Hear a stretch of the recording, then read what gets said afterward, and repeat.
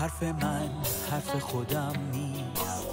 حرف خاک حرف ریش است. حرف دیروز ندیده.